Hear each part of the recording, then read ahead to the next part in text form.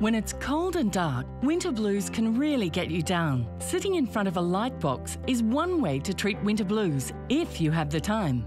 ReTimer is a convenient solution and it's portable to fit in with your lifestyle. ReTimer emits a soft green light shown through research to be an effective wavelength in reducing winter blues. Don't let the winter blues interrupt your life. Wear ReTimer.